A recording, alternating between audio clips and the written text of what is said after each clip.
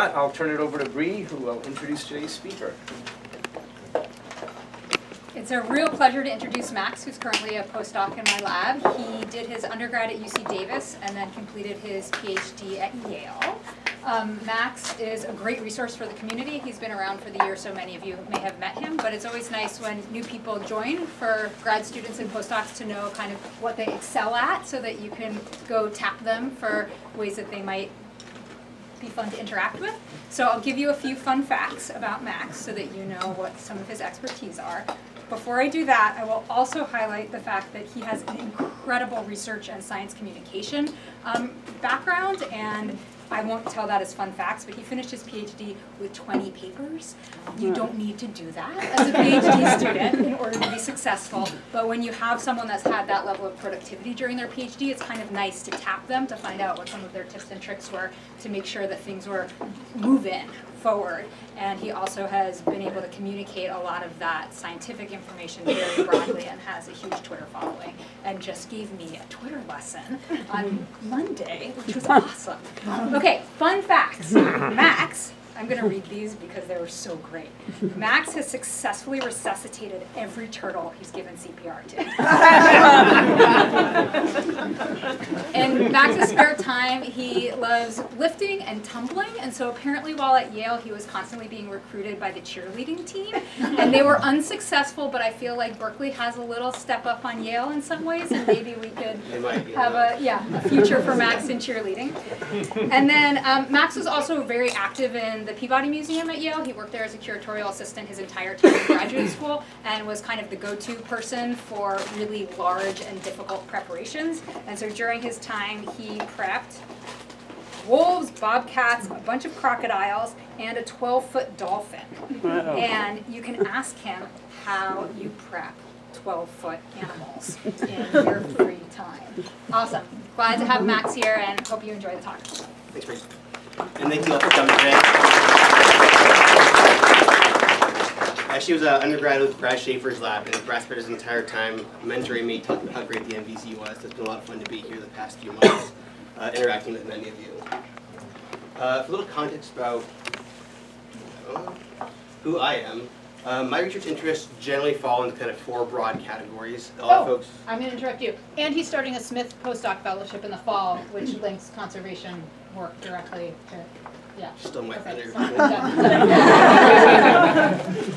Um, so broadly, I fall under these four kind of categories. Some folks like to classify me generally as an urban ecologist. I really understanding how species uh, interact with and are impacted by urban systems, whether in cities or their suburbs.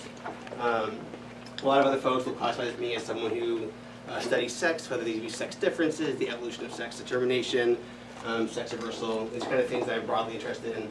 Um, and today I'm jazzed to talk to you a little bit about uh, a chunk of my PhD and master's work that falls somewhere in the center of these different interests, um, and which was really kind of an idea born out of a, a topic in environmental science that has since shed some interesting light on the biology of amphibians, I think.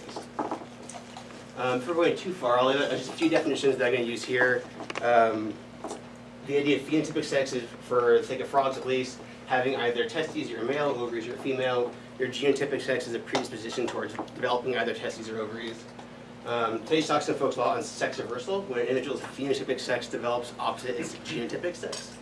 And I'll be using the word intersex a lot here, which refers to when uh, adult male frogs have this uh, condition in their testes where they have oocytes or egg-like cells. That's what we kind of see here histologically. Um, I'm going to take a page out of Project Biodiversify's book and say these are really useful terms for talking about amphibians and frogs, but we shouldn't abstract these terms and concepts beyond that towards human sex, gender, sexuality, um, orientation. So this is talking about frogs and amphibians. Alright, so the main theme of today is how does the tadpole develop into either a phenotypic male or a phenotypic female from embryo uh, to metamorphosis and then to adulthood. Um, I'm going to be focusing today on this critter. This is the green frog, Rana clamitans. If you've ever been anywhere in eastern or central North America and you stumble across one frog, it's probably this frog. They're pretty widespread, they're pretty abundant, and they're very useful for studying the effects of land use because they can pretty much live in anything. From the middle of nowhere in these kind of pristine forested areas in New England uh, to the middle of these kind of gross, scrubby sort of uh, backyard ponds in suburbs and cities. Um, as adults, they're highly sexually dimorphic. These males have bright yellow throats, very large tympana to help them bellow for their mating calls. whereas females are a little more cryptic, they're darker color, they're very hard to see behaviorally, um, so they're a very nice little species to work with. So as far as sex determination is concerned, there's two general camps of what sex determination is. Uh, one aspect of this is genotypic sex determination, G- GSD, which is what we have. So these are species that have genes on sex chromosomes that establish whether you'll become a phenotypic male or a phenotypic female. The other kind of branch of sex determination is environmental sex determination, so ESD. This is where environmental conditions experienced early on autonomy set your path towards developing into one sex or another. Like so many binaries, it's kind of a, a false binary. In the past couple decades, people have been reimagining this as more of a, a sex determination spectrum. So species occur along the spectrum bounded by strict GSD and strict ESD, and they have um, a, a genetic predisposition towards developing as male or female, but environmental effects, that's the EE there, can cause some individuals in a population or a cohort to sex reverse. So they actually develop their phenotypic sex opposite their genotypic sex. Across vertebrates, uh, there's actually a pretty substantial uh, patterning. Mammals and birds have uh, GSD, so these are the two left columns here are X, Y, and Z ZW, genetic sex method or modes. Um, X, Y, males have two different sex chromosomes. ZW, females have two different sex chromosomes. Um, the mammals are pretty well fixed for an XY system, whereas birds are pretty much fixed for a ZW system. The orange column there are species which have strict environmental sex determination, so these are things like many turtles, a lot of fishes do as well. And then the far column is the species which have genetic sex determination but environmental sex reversal. Um, it's pretty well known from a number of fish species and a number of uh, li- lizards. Um, but for the sake of amphibians, for the most part, they're not known to have really any obvious environmental effects naturally on their sex determination. But there are a number of species of amphibians which have either an XY or a ZW sex determining system. Now, I think this is kind of interesting to look at the phylogenetic context, but our, I think it's going to take a historical look at how we kind of came to this conclusion. So back in the early 1900s, experimental biologists were bombarding tadpoles with all sorts of weird environmental conditions, from acids to bases, uh, high temperatures and low temperatures, low carb diets and high carb diets, trying to see what influenced sexual development in these animals. And they recognized that chromosomes probably had a pretty big role to play in your phenotypic sex, but assumed that the environment also had a pretty large role. Now that's kind of their conclusion. Um, so if you take Helen King's quote here, it probably throws her somewhere along this sex reversal spectrum rather than at either end, um, exclusively. By the middle of the 1900s, uh, biologists have been karyotyping and cytogenetically looking at a whole bunch of, of vertebrate species, um, whereas mammals and birds have very morphologically differentiated, differentiated X and Y, whereas the W sex chromosomes. It's not really the case in a lot of fishes and amphibians. Their sex chromosomes, if they have them, look more or less the same. So it's kind of hard to tell apart an X and Y chromosome, whereas E and W cytogenetically. So Susumu Ohno, who literally wrote the book on vertebrate sex chromosomes, of assumed amphibians are more or less towards that far end, where they have environmental sex determination. This changed a bit again towards the end of the 1900s, where Berkeley's Raymond Tyrone Hayes wrote a pretty exquisite review of amphibian sexual differentiation and sex determination, um, kind of looking back retrospectively over the past century of work. Um, we had new experiments that were pretty, um, pretty well showing that all amphibians had some genetic basis of sex, and critiquing these older experiments on sex reversal. Oftentimes, the experiments were so abstract compared to natural conditions that it's kind of hard to tell how real that sex reversal was naturally, how well it reflected natural conditions. If you're boiling a tadpole at 35 to 40 degrees Celsius, they're not going to experience that in the wild, so if there's sex reversing there, how real is that? So this is kind of the baseline we've been working on for the past 20 years, that amphibian genetic sex determination is explicitly genetic, exclusively genetic. Um, and for the most part, things that sex reverse here along the spectrum are either a laboratory artifact or probably something to do with um, unnatural conditions.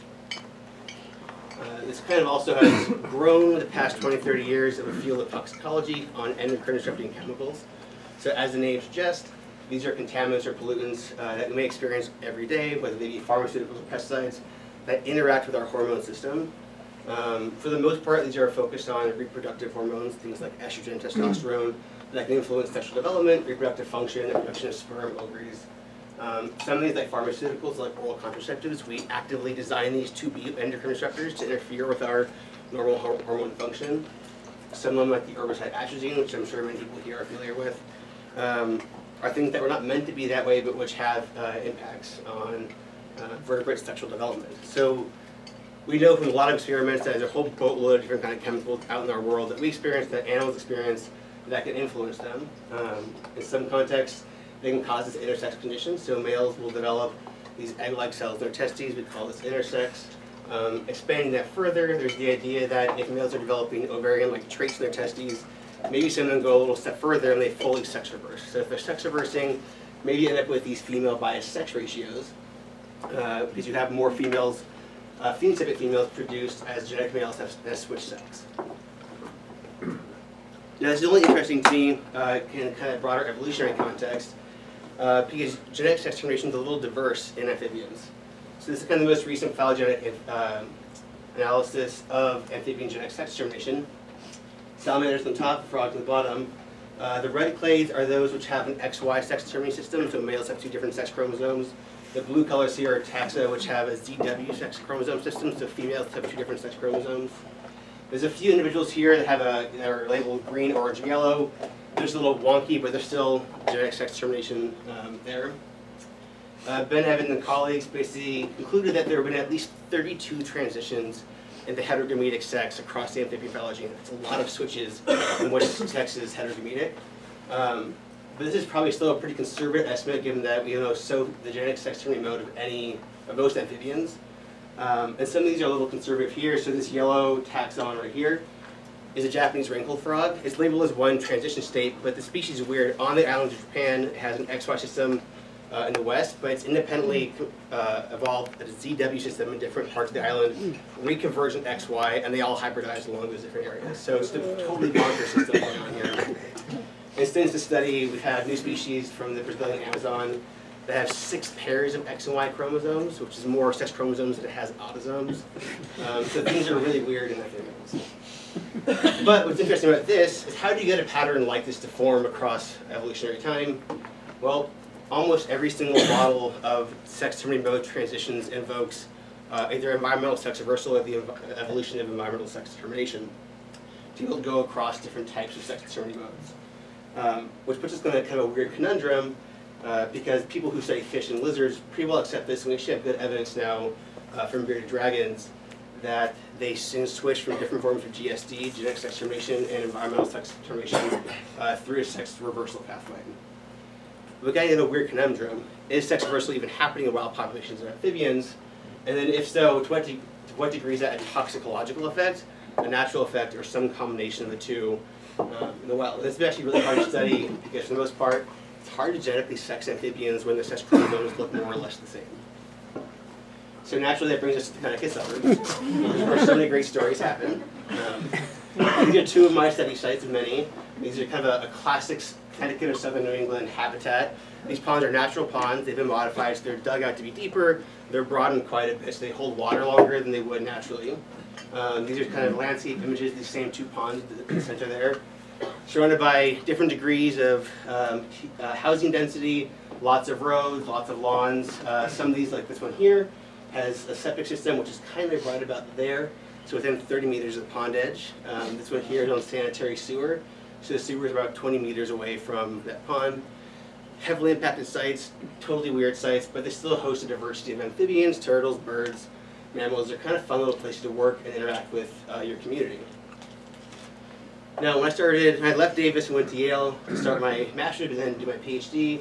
There's some emerging work from our lab, uh, mostly done by undergraduates, showing uh, collecting green frogs, adult male green frogs from backyard ponds, and finding intersex kind of everywhere. Any backyard you hop into, you grab a frog, and the chance was it probably had intersex uh, condition. And it's kind of surprising, not even surprising, but just interesting. For the most part, uh, most of the work on amphibian uh, sexual development has focused on agricultural context for, for years now. So it's kind of brought a new sort of landscape context of where this intersection is happening. So when I first came, I was really curious what chemical effects might even be happening in the suburbs. Uh, there's no massive amounts of pesticides being sprayed, they're not being sprayed regularly. Maybe someone spot spraying their backyard, but not any sort of massive context. Um, are we getting chemicals from people's septic systems, their sewer lines, something else weird they're putting on lawns, road runoff, runoff over buildings? Um, that's one of the questions I was hoping to address. And then if we extend this further from intersex, do we see kind of sex ratio shifts concurrent with changing chemical landscape in suburbs? So for the chemical part of that, we actually managed to team up with a really great colleague, Larry Barber at the USGS, who's a pretty uh, phenomenal um, chemist.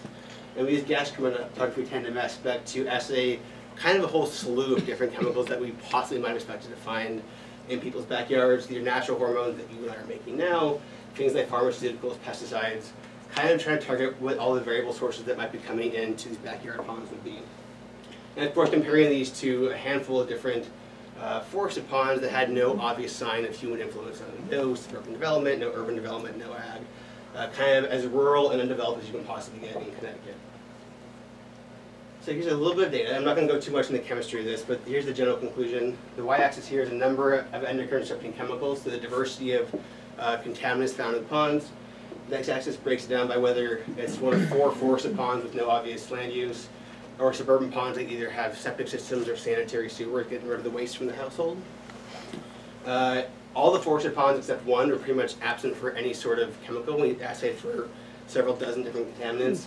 We have one forested pond with one chemical, that's estrone. We're all making that right now. So that could be a contaminant or that could be some deer did its business right before we sampled uh, near a pond, which is possible. Um, the two things, so these two suburban land types, whether they're septic or sewer, didn't have any difference. But on average, any suburban pond you go to has two to three different types of endocrine disruptors in it. Um, and so in the grodiest ponds, they have up to six or seven different kinds of chemicals. Um, and these come from a whole variety of sources. I'm just going to tell you about two quickly. Um, one I call your toilet estrogens. So these are things you're flushing down your drain. This could be, you know, things in your shampoo, your pharmaceuticals, whatever, making their way through septic systems and sewer lines, through groundwater, and into ponds. And we actually know this is going through groundwater. We popped 10-foot groundwater wells into these, uh, into the ground between the pond and the household, and are finding the same chemicals in the pond, also in the groundwater. We're also finding a lot of them are called phytoestrogens, which literally means plant-based estrogens. These are compounds that are similar to estrogens made by plants for a completely different function than interfering with vertebrate sexual development. But we found uh, multiple types of phytoestrogens in each suburban pond that are completely absent in the middle of forest areas. Um, and agricultural people have known about these for decades for interfering with sheep reproduction. Um, so we think things like clover and other ornamental plants that we choose to put in our backyards that don't exist normally in the middle of forests are probably contributing these into the soil and pushing their way down these ponds. And clover is one of these plants that's really well known to produce these chemicals and it grows right along the pond edge. It loves very moist soil, so it's a, a likely culprit. So we know that the chemical landscape of forest and suburban environments is completely different. Uh, we have a lot of chemicals we have in suburban ponds that don't exist in forested ponds. Does that mean a concomitant shift in sex ratios? So we also sampled from the same set of ponds little metamorphosing green frogs, so tadpoles grow on four legs, losing that tail, uh, as they're about to leave the pond, um, to understand whether cohort sex ratios are varying along a similar gradient of suburban land. So this x-axis here is the percent of suburban land cover around the pond. So if you look at these aerial images, it's a portion of land cover that's either entirely forested or 0% suburban, or the far right end, a, a landscape that's comprised of boatloads of houses, lawns, and roads. It's kind of a catch-all proxy for the impact of human landscape development on a given water body. The y-axis here is our sex ratio, uh, displayed as percent female. So this is um, the percent of a cohort of different metamorphosed green frogs that is comprised of phenotypic females. So a couple of fun things to take away from this figure. As ponds become increasingly surrounded by suburban land use, by more and more households within that kind of a buffer around the pond, we end up with a higher proportion of female going forward. And that's kind of what we expect given that contamination profile I just showed you. So we had a super interesting pattern, but one that's interesting because for the most part, uh, we, no one's really explored patterns of sex ratio variation across uh, environmental gradients and wild populations of amphibians. So that was fun. The other interesting part about this figure, these are our four forested ponds, no obvious signs of contamination. These sex ratios are all below this 50% mark. They're all male biased. That's weird, I just told you that all amphibians have genetic sex determination, and they should all have equal sex ratios. And now all of our natural ponds that we expect to be 50-50 are all male biased. So what's going on? So it starts to challenge a little bit maybe where amphibians fall along the sex determination spectrum. Do they strictly have genetic sex determination? Is that sex ratio pattern I showed you even the result of sex reversal? Um, and if sex reversal is happening, what degree is there a natural or anthropogenic origin to these sort of um, patterns? So that's where I spent kind of the last couple of years of my PhD kind of plugging away at parts of this. Um, able to understand whether sex reversal is actually happening, to understand whether individuals develop a phenotypic sex opposite to genetic sex, you have to know its genetic sex. And that's been really hard to do in amphibians for a long time. And we're lucky we're in the age of genomics now, where we can actually try and uh, take a blunt force attempt at this. So I'm not going to go into details what we did, but for those of you who are familiar with uh, DD-RAD-seq methods like that, we kind of explored the green frog genome and managed to find a handful of sex-linked loci that are specific to males and not females that allow us to go back now and retroactively uh, genotype the sex of any embryo tadpole or, or green frog in southern New England. So this is a very useful tool um, that we can go back out now to these same populations or more populations and genotype them. So I went out and looked at these same four set of forested ponds that we know had little contamination. another dozen suburban ponds along kind of a, a spectrum of suburban land use. Genotyped the sex of all adult and metamorph frogs we pulled out there. So over 450 adults across these 16 ponds, and over 200 metamorphosing tadpoles.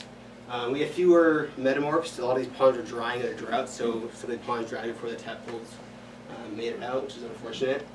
Um, we're able to use a really neat new Bayesian modeling approach where we can actually uh, probabilistically assign each uh, frog's genotype based on its uh, genotype across multiple loci, and then understand kind of the most probable environmental correlates of sex reversal, both female to male reversal and uh, male to female sex reversal. So I'm going to show you some fun data that's now in press. It'll be out hopefully in a couple weeks. Um, I think it's kind of fun. So this is a nice little summary of sex reversal frequencies in green frogs. So here on the, the y-axis are 16 different ponds. This is the pond names that don't really matter for the sake of uh, right now. The x-axis is the percent of each sample in each population that is comprised of sex reverse individuals. So these black bars are XX males. So these are animals we inferred to be genetic females that have sex reversed into phenotypic males. The red bars are the opposite. These are animals that we've inferred to be genetic males that have sex reversed into phenotypic females based off the genotype and gonad of these animals. Um, there's kind of a couple interesting things to take away from this. 12 of 16 populations have some degree of sex reversal. Sex reversal is kind of happening everywhere you kind of look for for the most part. Um, and we have both directions showing up, which is pretty interesting because in general, people who've looked at fishes or uh, lizards tend to target one form of sex reversal. So we see both males turning into females and females turning into males. What's also interesting about that is these three ponds here have both forms of sex reversal present in the adult population, which is pretty fascinating that we have bidirectional sex reversal in a single environment. Now this is to talk about suburbs and contaminations. You might wonder, are these four ponds at the bottom here that have no type of sex reversal the four forested ponds that we think they might be? Answer is no. So these are our four uncontaminated forested ponds, so which is called the general trend of everything else. So you have two forested ponds which have female to male reversal, one that has female to male reversal, and one type forested pond that has again bidirectional sex reversal. So this is starting to make us wonder whether human language is even causing the sex reversal to happen in parts of Connecticut. And just to kind of show us another way, uh, these are kind of bivariate plots. The x-axis here again is our percent suburban. This left panel here is the it's, a, it's binomial relationships. The probability that a genetic female has sex reversion into a phenotypic male. The right plot is the probability that a genetic male has sex reversion into a, a phenotypic female. Um, and the adults again. And these are statistically flat lines. There's really no influence of suburban land use and those associated contaminants in increasing the frequency of sex reversal. It's not just the presence or absence of sex reversal, but the frequency.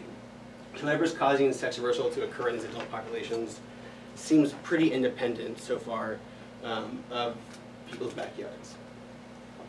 Uh, we can layer on top of that then that intersex conditions. This is the right panel here, the gray bars against sex reversal. Um, I'm not going to dig into intersex, but for the most part, while my uh, advisor and other people in the lab have found intersex pretty common in the suburbs, I also found that, but I also found it pretty common in the middle of forest too. So any forest pond we went to, we found intersex males too, despite not really finding any contamination there. Um, and there's really no associations between whether a pond had more form of sex reversal or another and having more intersex. So it seems like whatever's causing intersex and what's causing sex reversal also seem independent environmental correlations.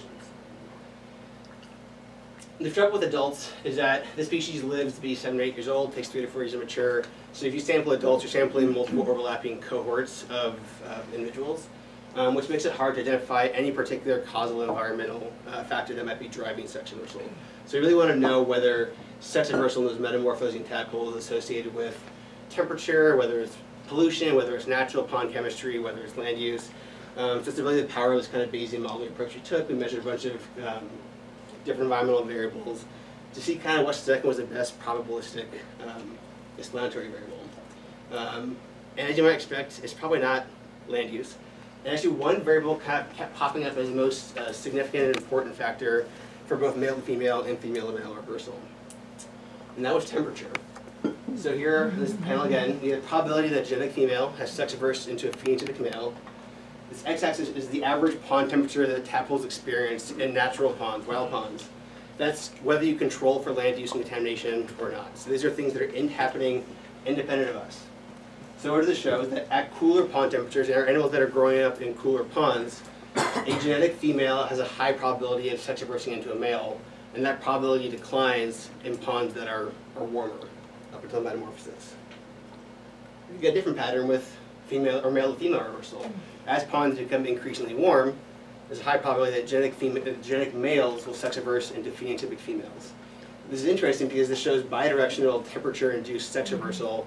And then again, this is not environmental se- sex reversal or sex determination. This is not temperature-dependent sex determination. This is temperature sex reversal. And these aren't laboratory experiments. These are wild populations. This is pretty fascinating, sort of new data. Um, they're hoping to get out soon. And the very bidirectional aspect of this too is particularly fascinating. Um, I'm going to build on this and I'm not going to wax poetic for too long. For those of you who came to my herp group talk, I kind of proposed this hypothesis that maybe sex reversal in fishes, amphibians, reptiles may be an adaptive trait sometimes. Uh, the idea of this is building off of deep evolutionary theory, trying to explain environmental sex determination. The idea being maybe one phenotypic sex uh, develops better in a particular environmental condition than the other, and so it behooves you to try and develop as that phenotypic sex. In the case of green frogs here, of a, a hypothetical temperature versus relative fitness plot. Um, perhaps the cooler temperatures, phenotypic males develop better than phenotypic females. And so if you're a genetic female, you're going to go towards being a, phenotypic female too. Maybe it behooves you to actually switch your sex and develop as a phenotypic male. The opposite might be happening in warmer temperatures, where it may be more advantageous to be um, a phenotypic female. Now this is like hypothetical, and we don't have any more evidence as I just showed you, um, but it's tantalizing, and probably worth exploring whether there is an adaptive effect of um, thermal sex reversal. So, I gave this whole sex ratio plot. That was kind of the motivation behind even trying to look into sex reversal in these critters. And I also just showed you that even despite there being uh, no or a great pattern of sex ratios and, and suburbanization, there's no real relationship between sex reversal and suburbanization. So what degree does sex reversal even explain this uh, nonsense here? And for time, I think we're getting tight, so I'm not going to go too deep into it. I'll show data. When we have the phenotypic sex ratio bias at metamorphosis, for ever now, pretty much thought this is a consequence of something happening um, from fertilization to metamorphosis to tadpoles, which is a pretty reasonable assumption. Um, for the most part, over the past over a century now, we thought this is probably sex reversal. So when you have a phenotypic sex ratio bias, probably because the animal is sex reversing and driving that phenotypic sex ratio to be skewed one way or another. That's one hypothesis, but there's another completely reasonable one. Maybe one genetic sex just sucks in a particular environment and dies more than the others. We have sex bias mortality. We don't have any good evidence of sex bias mortality really in any fish, amphibian, or reptile, but it's a completely reasonable hypothesis. Um, it's predominantly unexplored. We also have sex reverse individuals, and we have sex reverse adults. Do those adults breed? That's something we don't actually know. Are they functionally sex reverse animals? If so, that kind of complicates the genetic constituency of the sex ratio at fertilization. In an XX, XY sex chromosome uh, species, if you're genetically female, you're a person phenotypic male, you still have two X chromosomes. All the sperm you could possibly make are X bearing, which means if you breed with a non-sex averse female, your entire clutch is going to be genetically female. If you're a genetic male that's reversed into phenotypic female, you're going to end up making male biased clutches genetically. So if you assume if you aggregate across all all these different clutches from all the different breeding attempts, you may have an entire cohort that's genetically sex ratio skewed. So I won't show data because it's kind of a mess to show uh, graphically. I went out and actually monitored two populations of green frogs from fertilization through metamorphosis, sampling hundreds of embryos from dozens of clutches for each population, and then going back and repeatedly sampling these tadpole sex ratios as they progress in metamorphosis, and again sampling metamorphs, genotyping uh, many thousands of these animals. Um, looking at the gonadal sex of these metamorphs, trying to figure out do we have skewed sex ratios at the uh, in clutches showing that adults are breeding? Do we have sex bias mortality? Do we see changes in the genetic sex ratio across time suggesting that one sex is dying more than the other? And then do we have sex reversal contributing to that final phenotypic sex ratio? The answer is all of these are happening. So in any given population, you have a skewed genetic sex ratio right up front, suggesting it more or less actually in the in the situation that genetic females that are um, reversing to males are breeding more often the other way around, but both are still breeding. We have sex bias mortality in both populations. Genetic males died more often than genetic females did, and we also had pretty high rates of uh, female or male to female reversal, some female to male reversal. So that that final genetics or phenotypic sex ratio you had at metamorphosis is the byproduct of multiple independent things happening at the same time. Sex reversal both directly and indirectly, as well as sex bias mortality.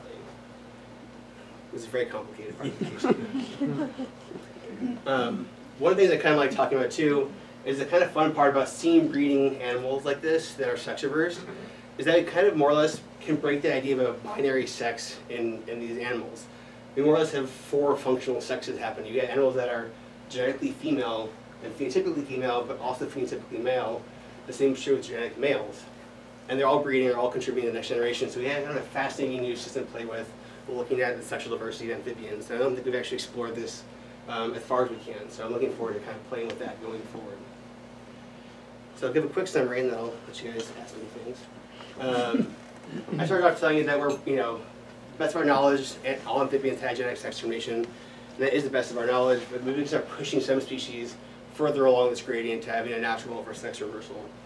Um, the degree to which that sex reversal might explain sex ratio variation in wild populations is more complex than just a one-to-one relationship, and that's kind of an interesting phenomenon for us, for those of us who are looking at population dynamics and amphibians over time. No one's really looking at the different processes that have be controlling sex ratios, even whether it be metamorphs or adults. Um, I think I provided some tantalizing evidence that maybe there's some adaptive potential for sex reversal. I, think it's worth looking at in the world this may actually play and having all those transitions among different genetic sex determining modes in amphibians. And I think whether it's unfortunate or fortunate, I don't know, um, the relative role that anthropogenic conditions play relative to natural ones in causing intersex or sex reversal or sex ratio variation in wild populations may be more muddy than it was when I started my PhD, um, which is a frustrating way to write, a dissertation.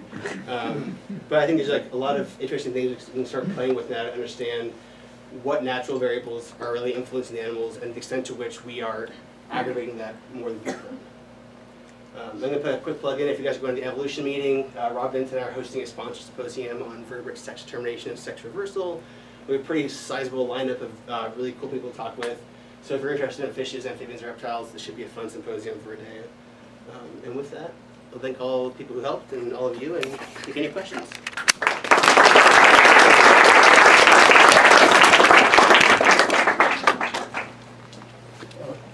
Among the environmental, environmental influences that you looked at, you mentioned population density.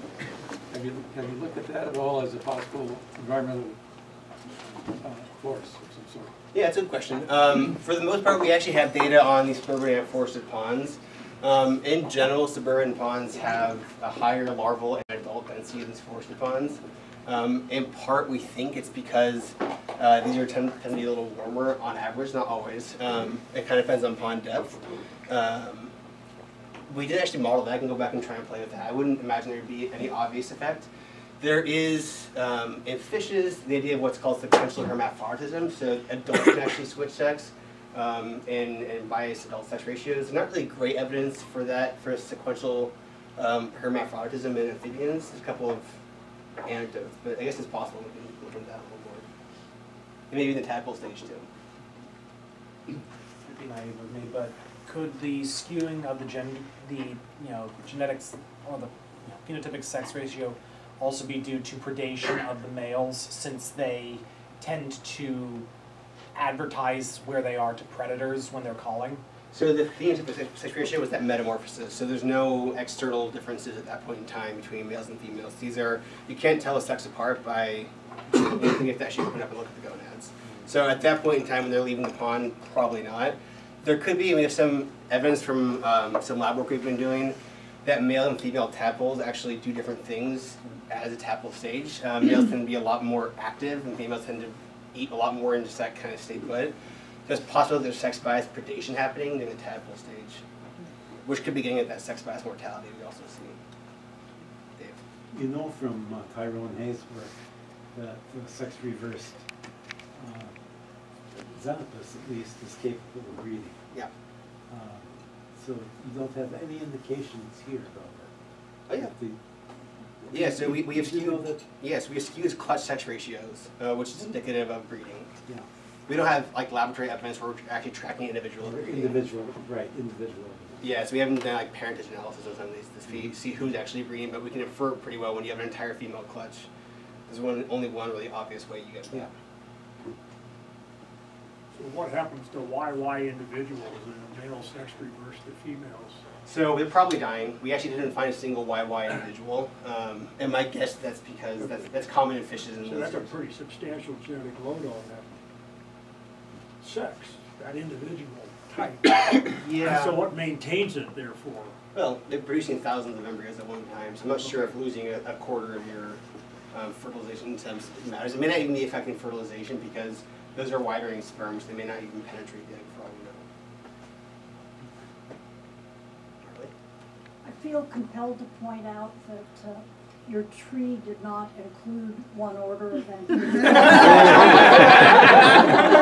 Finish, which is not surprising, because we know the chromosome numbers and configurations for fewer than ten percent of the known species. So my message is, get to work. It could be fascinating, Oh, I think it would be. No, I mean, and even, even salamanders are way underrepresented compared to frogs. So we, we know 90 species of genetic sex term mode, and there are almost 8,000. And I don't know, it's all a mess. So do you have any ideas for testing the adaptive sex reversal hypothesis that you proposed? Are you Yeah. thinking about doing this? Yeah, I think, when doing green frog species is a pain to work with. It takes over a year to metamorphose, and then it's not going to mature for three or four years.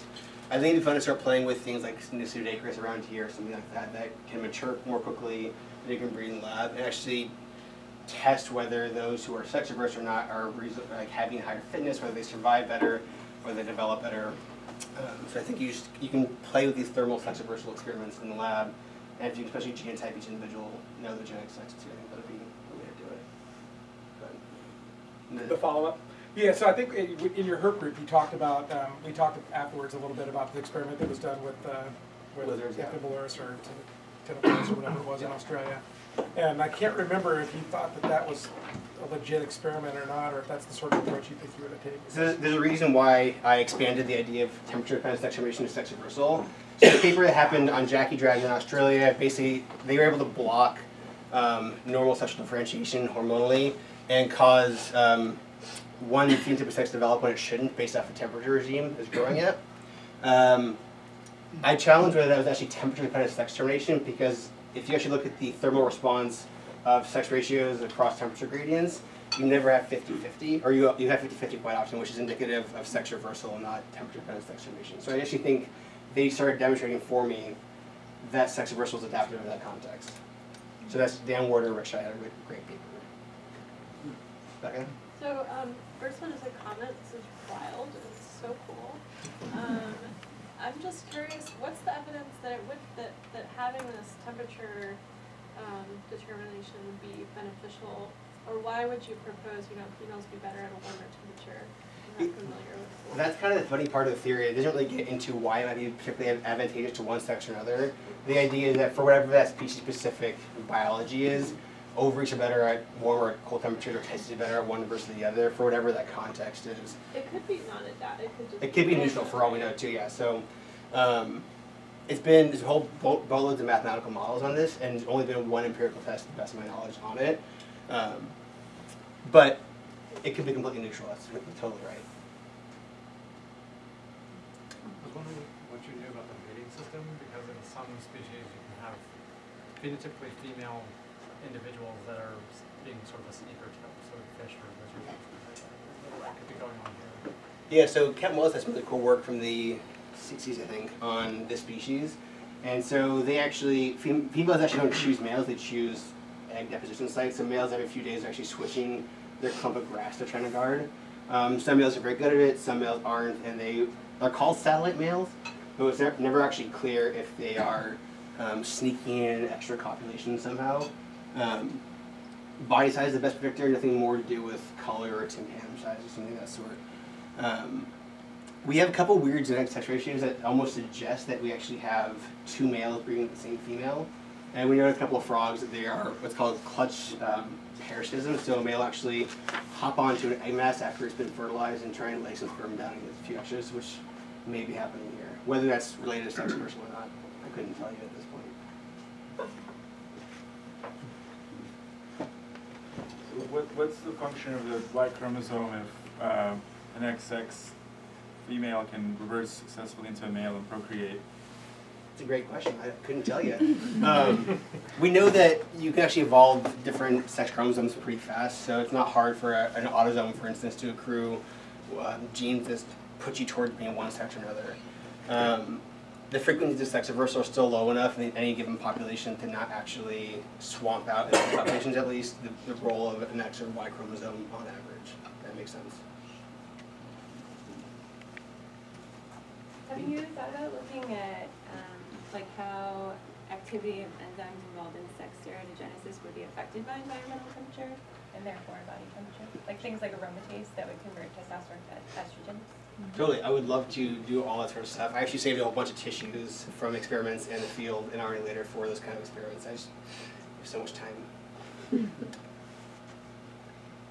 All right, any other questions?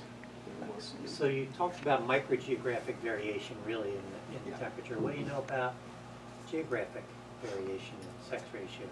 Oh, sex ratios. Oh, nothing. Um, so, in general, sex ratios and metamorphosis are pretty poorly understood in amphibians. No one's actually going out there grabbing metamorphs and opening them up. What's wrong with you people? We gotta get muse- museums and no one's using them. Um, but yeah, that's something we kind of need a little more. This species is kind of fun because we actually show um, microgeographic uh, adaptation to thermal regimes, so whether uh, altitudinally or uh, latitudinally. So yeah, there could be very small uh, variation in, in that it's controlling temperature regimes too. It has a pretty large geographic Right, range. exactly. Oh yeah, these things go pretty far into Canada, pretty far down south. For whatever, for context, um, I had a D-dig that allowed me to test how well these sex-linked markers work across the species range. And outside of New England, they don't really work anymore. They don't really predict sex. So whatever, wherever these markers are on test chromosomes, they're no longer sex linked past New England, which isn't surprising given that Japan story I told you earlier. Um, but my guess is there are all sorts of weird sexual themes to this species as you go across its large range. Thanks. Very- Very cool. Thank you very much.